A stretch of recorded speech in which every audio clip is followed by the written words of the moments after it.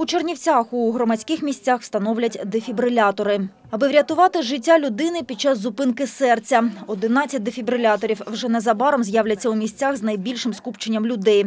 Ці апарати місту подарували благодійники від Польського фонду міжнародної солідарності. Це е, європейська практика, і е, вже є е, такі дослідження, що 85% застосування саме таких апаратів штучної АЗД, автоматичних зовнішніх дефібриляторів, дає ефективний результат. Тобто вдалося реанімувати пацієнта до прибуття швидкої допомоги. Зовнішні дефібрилятори розраховані не лише на медиків. Обладнання настільки автоматичне, що розібратися зможе будь-хто. Головне – чітко слідувати інструкціям та підказкам. Ми його включаємо зараз на кнопочку. Зараз Call emergency medical services now. Adult mode. він просить нас, розказує про це і просить Remove all наліпочки в відповідні місця. Після того, ми, як ми наділи наліпочки, він просить of the device. відійти від пацієнта і не торкатися, тому що буде давати packaging. розряд. В тому випадку, якщо е, серцевий ритм зупинено. Обладнання АЗД встановлять у міській раді, в департаменті соцполітики, на Калинівському ринку, у декількох школах, на Олімпії, а також у центрі Миколайчука. І хоч скористатися дефібрилятором може будь-хто, в управлінні охорони здоров'я вирішили провести спеціальне навчання для працівників комунальних закладів.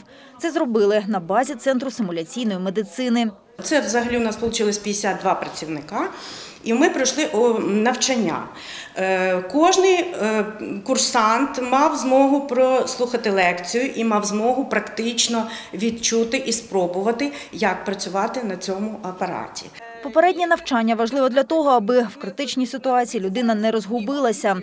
Ті, хто спробував, кажуть, тепер краще розуміють, що робити, якщо доведеться надавати першу домедичну допомогу. Є оцей певний ризик, е, чи не нашкоджу я тій людині, так чи не потім не притягнуть мене до відповідальності.